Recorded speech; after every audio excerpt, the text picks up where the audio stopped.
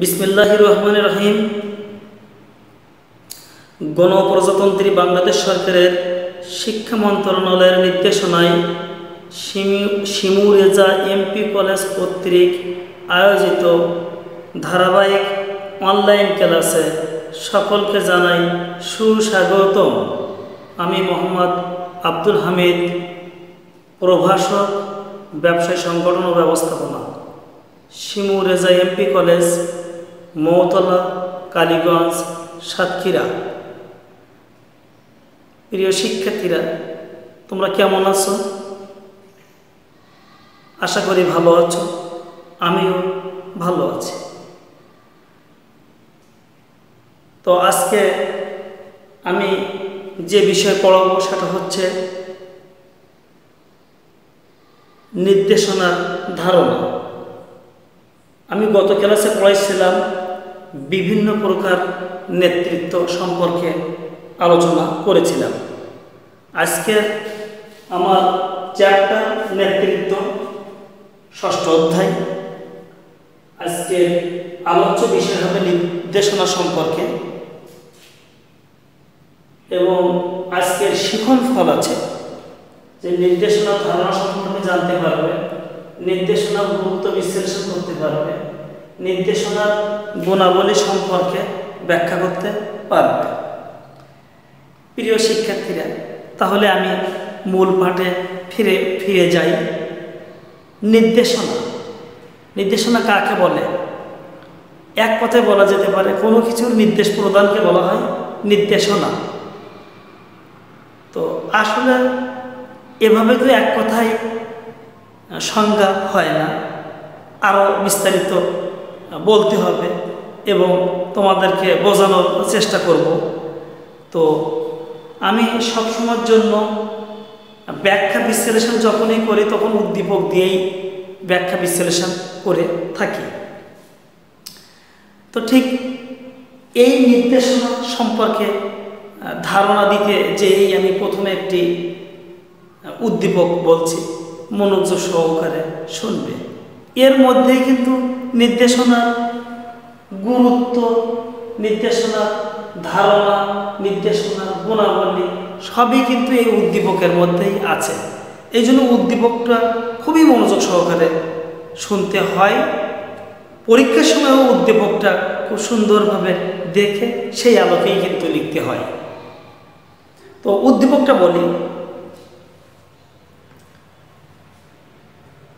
জনাব করিম একটি সুনামধন্য উৎপাদন ধর্মী বা উৎপাদন প্রতিষ্ঠানের উৎপাদন ব্যবস্থাপক। তিনি উক্ত প্রতিষ্ঠানের সাপ্তাহিক উৎপাদন লক্ষ্যমাত্রা নির্ধারণ করে দেন। অতপর তার অধীনস্থ কর্মীদের সুনির্দিষ্ট লক্ষ্য বা দিক নির্দেশনা দেন। দৈনিক কি পরিমাণ উৎপাদন হচ্ছে? সপ্তাহের লক্ষ্যমাত্রা কেমন? সব কিছু কিন্তু তিনি দেখাশুনো করেন। দ্যাট মিন্স জনাব, করে। সপ্তাহের শেষে উৎপাদনের লক্ষ্যমাত্রা দেখেন। কাঙ্ক্ষিত লক্ষ্যমাত্রার জন্য শ্রমিক কর্মচারীদেরকে সাধুবাদ জানান। যদি কোনো ত্রুটি বিস্তৃতি হয়ে থাকে, সেক্ষেত্রে তিনি কর্মীদেরকে উৎসাহিত করেন যে পরবর্তীতে ভালো করার জন্য উৎসাহিত করে থাকেন তো এভাবে তিনি সবাইকে সঠিকভাবে কাজে লাগান। উৎপাদন এবং যাবতীয় কাজ সুন্দরভাবে সুসম্পন্ন হয়। তো এই যে উদ্দীপকটা বললাম, জনাব করিম সম্পর্কে, তো জনাব করিমের এই যাবতীয় কাজটাই হচ্ছে নির্দেশনার আওতাভুক্ত। অন্তর্ভুক্ত। তো ব্যবস্থাপনা প্রক্রিয়ায় কর্মী সংস্থানের পরে চলে আসে নেতৃত্ব। ঠিক নেতৃত্বটাই নেতৃত্বের একটা অংশ হিসেবে নির্দেশনা। সমস্ত উপকরণাদি সুন্দরভাবে থাকা সত্ত্বে যদি সঠিক নির্দেশনা না হয়, সঠিক নির্দেশ প্রদান না হয়, তাহলে কিন্তু কখনোই ওই প্রতিষ্ঠানের ফলাফল ভালো হয় না। কারণ উদ্ধতন কর্তৃক আদেশ, উপদেশ, অনুরোধ, উৎসাহ দান, অনুপ্রেরণা, তিরস্কার, পুরস্কার যাবতীয় বিষয় কিন্তু এই নির্দেশনার মধ্যেই কিন্তু থাকবে। তো এই নির্দেশনাটাই কিন্তু সর্বদাই কিন্তু নিম্নমুখী। এটা কি হবে? ওপর থেকে নিচের দিকে ধাপিত হবে। ওপর থেকে নিচের দিকে ধাপিত হবে।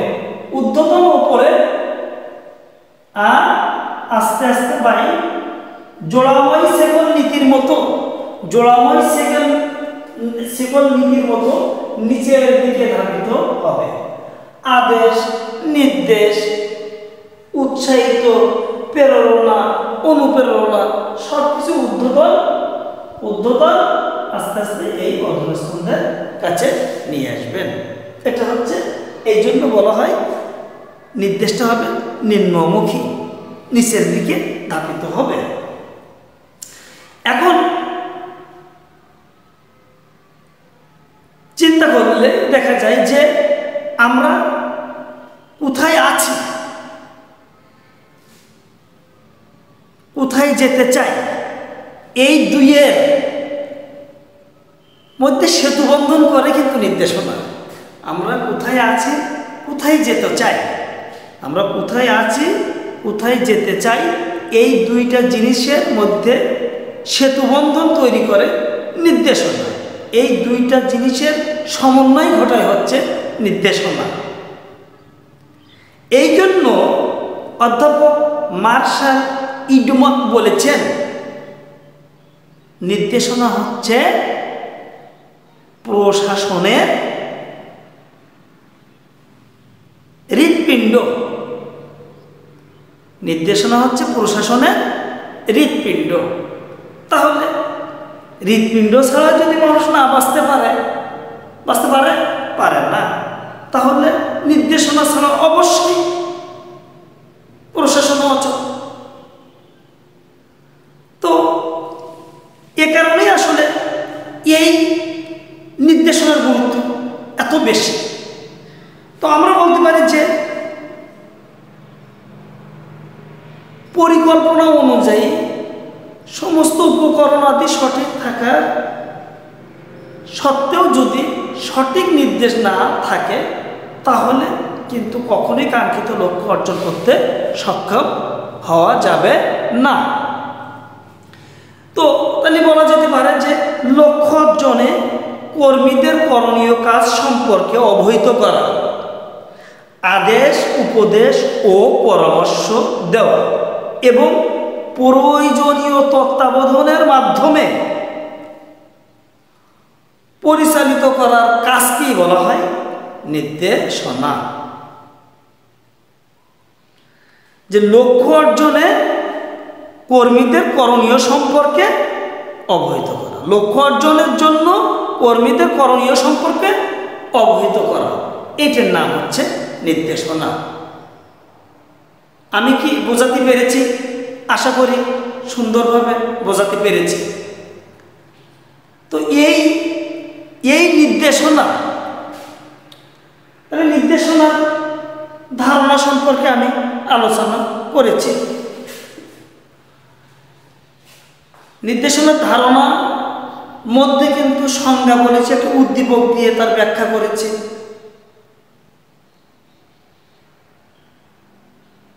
এবার আমি আলোচনা করব নির্দেশনা নির্দেশনা গুরুত্ব বিশ্লেষণ করতে করব। নির্দেশনার গুরুত্বটা বিশ্লেষণ করব। তো নির্দেশনার গুরুত্বটা কি? ধরা যাক একটি ট্রেন স্টেশনে থেমে আছে। যাত্রার সময়ও হয়ে গেছে। উক্ত স্টেশনের গাঠ বাসি বাজালেন কিংবা সবুজ সংকেত দিলেন। অপরদিকে একটি ফুটবল খেলার মাঠে। দুই পক্ষ মাঠে উপস্থিত। রেফারি বাসি বাজালেন। এটি নির্দিষ্ট সময়ের পরে রেফারি বাসি বাজালেন, খেলা বন্ধ হয়ে গেল। তো এই রেফারির বাসি অন্যদিকে সবুজ সংকেত। গার্ডের বাসি এই দুটোও কিন্তু নির্দেশনার অন্তর্ভুক্ত। তাহলে নির্দেশনার গুরুত্ব কত গুরুত্বপূর্ণ যে একটা বাসিতে, একটা খেলা চলতেছে, বন্ধ হচ্ছে, শৃঙ্খলা নিয়ন্ত্রণ করছে মুখের একটা বাসি, অপরদিকে একটা ট্রেন, ট্রেনকেও নিয়ন্ত্রণ করছে যে ওই গার্ড, বলা যেতে পারে, আমরা সহজে যেটা বুঝতে পারি।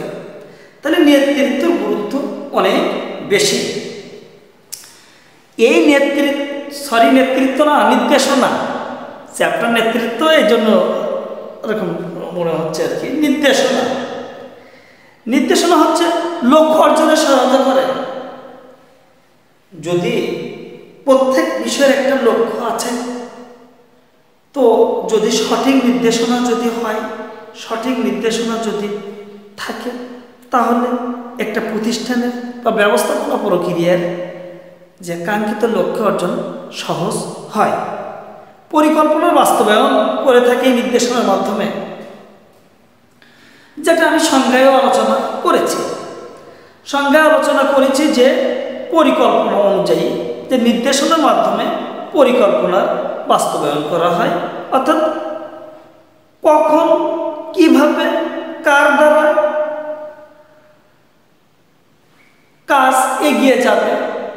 সেটা এই সঠিক নির্দেশনার মাধ্যমেই কিন্তু সম্ভবপর হয়। যদি নির্দেশ, যদি সঠিক যদি না হয়, তাহলে কখনোই কিন্তু ওই পরিকল্পনার বাস্তবায়ন করা সম্ভবপর হয় না। তাহলে কিন্তু পরিকল্পনা পরিকল্পনাই থেকে যাবে। কর্মীদের মান উন্নয়ন। কর্মীদের মান উন্নয়ন মানে কি? নির্দেশনার মাধ্যমে কি হয়? বিভিন্ন বিভাগ, উপবিভাগের সাথে একে অপরের যোগসূত্র স্থাপন করা সম্ভবপর হয়। তো এই জন্য এই এই নির্দেশনার মাধ্যমে কর্মীদের কাছে মান উন্নয়ন হয় মনোবল বৃদ্ধি পায়। কি হয়? নেতৃত্বের বিকাশ ঘটে।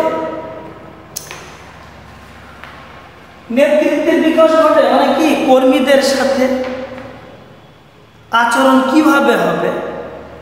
কার কি দায়িত্ব? কার কি কর্তব্য? কাজকে বিভাজন করে দেওয়া, কাজকে বন্টন করে দেওয়া, এটা কিন্তু এই নির্দেশনার মাধ্যমেই কিন্তু সম্ভবপর হয়। তাহলে কি হতে পারে? নেতৃত্ব বিকাশ ঘটতে পারে। মানে কি নেতৃত্ব পরিধিটা বেড়ে যেতে পারে। ঐক্য সৃষ্টি। যে কথাটা বলা হয়েছে, বারবারই বলা হয়েছে যে ব্যবস্থাপনা কিন্তু আসলে একটা দলগত প্রচেষ্টার মাধ্যমে কাজকে এগিয়ে নিয়ে যাওয়ার চেষ্টা করে। তো এই নেতৃত্বের মাধ্যমে, এই নেতৃত্বের মাধ্যমে এক মানে প্রতিষ্ঠানে কর্মরত কর্মীদের বিভিন্ন বিভাগ, উপবিভাগ একটার সাথে আরেকটার একটা যোগসূত্র স্থাপন করা সম্ভবপর হয় এবং এই যোগসূত্র যখনই স্থাপন হয়ে যায়, তখন কিন্তু সকলের মধ্যে একটা একত্রতা চলে আসে। তাহলে একতা সৃষ্টি করে। নিয়মাবর্ত নিয়মানুবর্তিতা প্রতিষ্ঠা করে এই নির্দেশনার মাধ্যমে। ব্যবস্থাপনার একটা যে বিষয় অবশ্যই আছে যে তারা শৃঙ্খলার সাথে কোনো কাজ করতে চায়, সেটা খুবই জরুরি এবং একটা উত্তম নির্দেশনার মাধ্যমে কর্মীরা তাদের উদ্ধতনের প্রতি শ্রদ্ধাশীল থাকে এবং নিয়ম শৃঙ্খলা রক্ষা করে চলার জন্য চেষ্টা করে এবং নিয়মের প্রতি শ্রদ্ধাশীল থাকে, যাতে তারা কাজটা সুন্দরভাবে করতে পারে। আচ্ছা কি হয়? দক্ষতার উন্নয়ন। দক্ষতা, বারবার আমি আগের ক্লাসেও বলেছি যে দক্ষতাটা কি? যে একটা কাজ কে কতটুকু ভালো করতে পেরেছে, আপেক্ষিক ব্যাপার। চোখে দেখা যাবে না, ছোঁয়া যাবে না। অনুভব করা যাবে। এটার নাম হচ্ছে দক্ষতা। তাই এই দক্ষতার উন্নয়ন ঘটে এই নির্দেশনার মাধ্যমে, সঠিক নির্দেশনার মাধ্যমে। নির্দেশনা যদি সঠিক না হয়, তাহলে কিন্তু দক্ষতার এইভাবে কিন্তু উন্নয়ন ঘটবে না। তারপরে আসছে যে পরিচালনার সহায়তা। এই নির্দেশনা এমন একটা জিনিস যে পরিচালনার ক্ষেত্রে সহায়তা করে থাকে। সঠিক নির্দেশ যদি হয়, সঠিক ব্যক্তির উপর নির্দেশ যদি পড়ে আলটিমেটলি কিন্তু কাজের পরিধি কিন্তু কমে যায়। যার যে কাজ সেটা যদি সুন্দরভাবে সম্পন্ন যদি হয়, তাহলে কিন্তু উদ্বোধনের দেখভাল, দেখাশুনো বা অন্যান্য সার্বিক কাজের পরিমাণটাও কিন্তু কমে আসে, ঠিক আছে? তো এইটার পরিচালনার ক্ষেত্রে এই নির্দেশনা সহায়তা প্রদান করে থাকে। সঠিক মূল্য ও সমন্বয়। মানে নির্দেশনার মাধ্যমে কি হয়? যে ঠিক ওপর থেকে নিচ পর্যন্ত বিভিন্ন ব্যক্তি, বিভাগ, উপবিভাগ, অনেক লোক, অনেক কাজের সাথে একটা সমন্বয় করা হয়। এতে কি হয়? যে কে কে কোন কাজের প্রতি পারদর্শী, সেটা মূল্যায়ন করা যেতে পারে, দক্ষতা বোঝা যায়। আর কি হয়? একের সাথে অপরের একটা যোগসূত্র স্থাপন হয়, যাতে সম্পর্ক ভালো থাকে। এবং কাজটা আন্তরিকতা সহকারে সম্পন্ন হয়, কাজটার বাধাবিঘ্ন পরিমাণটা অনেক কমে আসে। কাঙ্ক্ষিত লক্ষ্য অর্জন করাও সুবিধা হয়। কার্যকর নিয়ন্ত্রণ ব্যবস্থা। আমরা জানি নিয়ন্ত্রণ হচ্ছে কি? প্রণীত পরিকল্পনা অনুযায়ী যাবতীয় কার্যবলী সম্পাদিত হচ্ছে কিনা তা দেখা। যদি তা না হয়ে থাকে, তার প্রয়োজনীয় সংশোধনমূলক ব্যবস্থা গ্রহণ করাটাই হচ্ছে নিয়ন্ত্রণ। তো এই এই নির্বাহীদের বা উদ্ধতনদের সাথে এই নিয়ন্ত্রণের এই কাজটাই নির্দেশনার মাধ্যমেই কিন্তু হয়ে থাকে।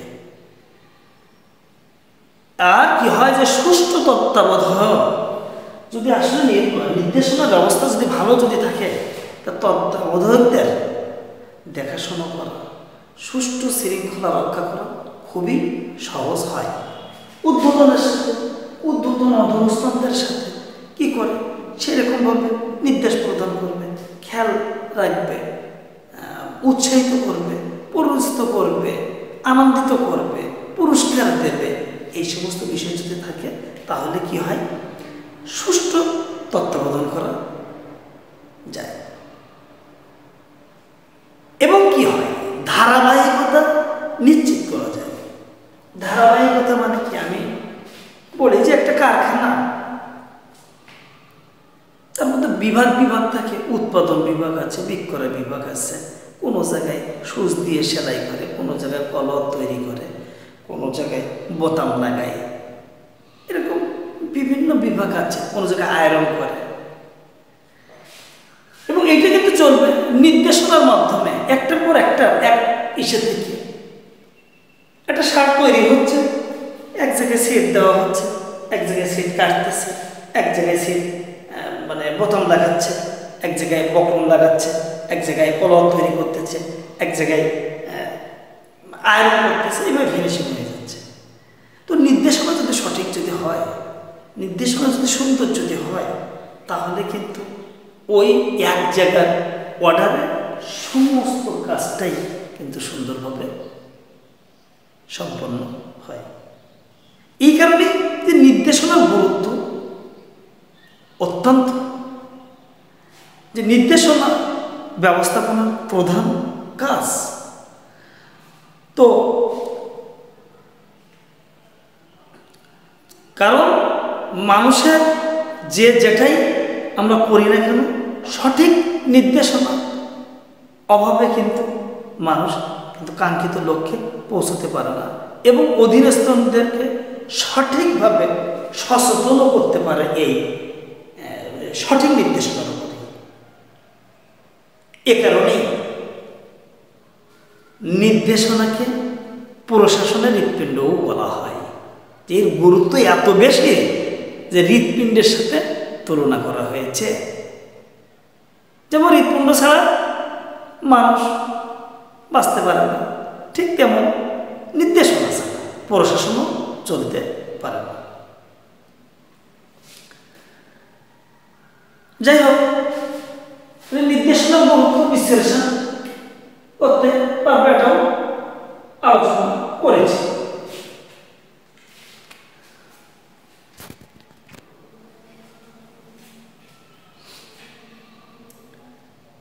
এবার আলোচনা করব একটি নির্দেশনার গুণাবলী অথবা বৈশিষ্ট্য। একটি উত্তম নির্দেশনার গুণাবলী বা বৈশিষ্ট্য। তো নির্দেশনা, নির্দেশনার মাধ্যমে অধীনস্থদের প্রতিষ্ঠানের লক্ষ্যের দিকে পরিচালিত করা হয়। তো উত্তম নির্দেশনার কিছু আদর্শ, বৈশিষ্ট্য বা গুণাবলী তো থাকতেই হবে। তো প্রথমে বলা যেতে পারে যে নির্দেশনাটা হতে হবে সহজ বদ্ধতা যেটা মানুষ সহজে বুঝতে পারে। উদ্বোধনের আদেশ, নির্দেশ, উৎসাহিত প্ররোচিত যা কিছু থাকবে সেটা হতে হবে সহজবোধ্য যেন অধনস্থরা বুঝতে পারে। তাহলে বুঝতে পারলে কি হয়? কাজ করতে সুবিধা হয়। এই জন্য সেটা হতে হবে সহজবদ্ধতা পূর্ণাঙ্গতা। মানে এই নির্দেশনাটা হতে হবে। পূর্ণাঙ্গ, কোনো জায়গায় অসম্পূর্ণ রেখ- রাখলে কিন্তু চলবে না। কমপ্লিটলিভাবে সেটিকে কি করতে হবে? পূর্ণাঙ্গভাবে করতে হবে, পরিপূর্ণভাবে অর্জন করতে হবে। বা একটা কথা বললাম, সেটা সম্পূর্ণ বললাম না, একটা অর্ডার বা একটা নির্দেশ প্রদান করলাম, সম্পূর্ণ করলাম না, এরকমটি হলে কিন্তু হবে না। নির্দেশনাটা অবশ্যই কিন্তু যৌতিকতা থাকার প্রয়োজন এবং বাস্তবসম্মত কিন্তু হতে হবে। যদি বাস্তবসম্মত না হয়, তাহলে সে কাজ এক মাসে সম্পন্ন হওয়া যৌতিক না এক সপ্তাহে সম্পন্ন হওয়া যৌতিক, এটা কিন্তু নির্ভর করবে কিন্তু তার নির্দেশনার উপরে। সংক্ষিপ্ততা, উত্তম নির্দেশনার যত সম্ভব সংক্ষেপ হতে হবে যে সংক্ষেপ কথার মধ্যে যাবতীয় বিষয়টা সেখানে উত্থাপিত থাকবে। যাবতীয় বিষয়টা সেখানে থাকবে। এই জন্য সংক্ষেপে প্রয়োজনীয় কথাবার্তা সবই কিন্তু সেখানে বলতে হবে। তারপরে কি সুনির্দিষ্টতা, এটা নির্দিষ্ট হতে হবে যে আদেশ, উপদেশ, অনুরোধ, এটা হতে হবে কি? নির্দিষ্ট। যেন সুস্পষ্ট ধারণা সবার মধ্যে কিন্তু পরিলক্ষিত হয়। যখনই কিন্তু এই সুনির্দিষ্ট সব কিছু কিন্তু নির্দিষ্টতা থাকবে, তখনই কিন্তু আসলে একটা প্রতিষ্ঠান, একটা ব্যবস্থাপনা যাবতীয় কাজ সুসম্পন্ন হতে সময় লাগে না বা বাধা বিঘ্ন থাকে না। এবার আসতেছে যে সময়ানুবর্তিতা। কথায় বলে সময়ের এক ফোট অসময়ের দশ ফোট অর্থাৎ সময়ের কাজ সময় করতে হয়। উত্তম নির্দেশনার আরও একটা গুণাবলী আরও একটা বৈশিষ্ট্য, সেটা হচ্ছে সময়ের কাজ সময়। যে যখন, যে মুহূর্তে, যে নির্দেশ আসবে বা দেওয়ার প্রয়োজন হবে, সেটা দিতে হবে। এটার নাম হচ্ছে সময় সময়ানুবর্তিতা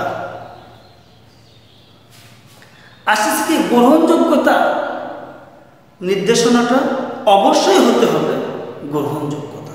গ্রহণযোগ্য থাকতে হবে।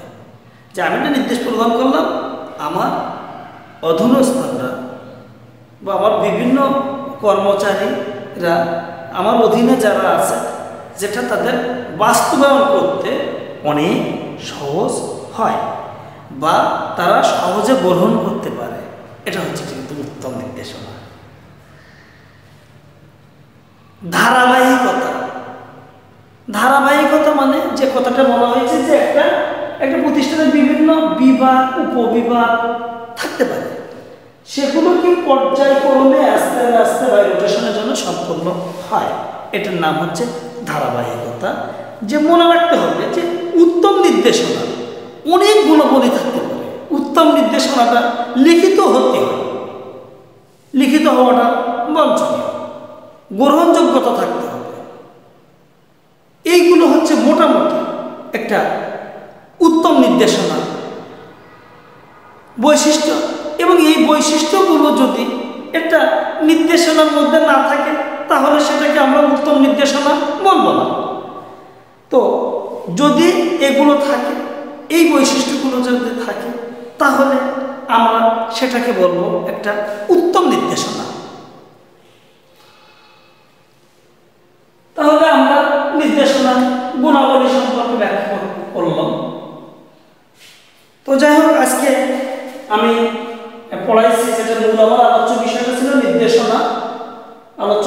নির্দেশনা। এবং শিক্ষক ফল আমরা শিখতে পেরেছি যে নির্দেশনা ধারণা সম্পর্কে আমরা একটা আলোচনা করেছি এবং সে সম্পর্কে আমরা জেনেছি। নির্দেশনার গুরুত্ব সম্পর্কে বিশ্লেষণ করেছি এবং তোমরাও বিশ্লেষণ করতে পারবে। নির্দেশনা গুণাবলী সম্পর্কেও আমি ব্যাখ্যা করেছি, তোমরাও সেই ব্যাখ্যা করতে পারবে। তো প্রিয় শিক্ষার্থী এই বিষয়গুলো আমাকে দেখবে। এবং দেখবে যে সঠিকভাবে এবং ভালোভাবে কিন্তু তোমাদের কোর্সটা কমপ্লিট হয়ে যাবে এবং বুঝতেও সুবিধা হবে। তো প্রিয় শিক্ষার্থী, তোমরা আমাদের শিমুরেজা কলেজের ইউটিউব চ্যানেলে বিভিন্ন বিষয়ে ক্লাস আপডেট পেতে সাবস্ক্রাইব করবে এবং বেল বাজিয়ে দেবে আর এই মরণঘাতী করোনা ভাইরাস থেকে সাবধান অবলম্বন করবে, স্বাস্থ্যবিধি মেনে চলবে।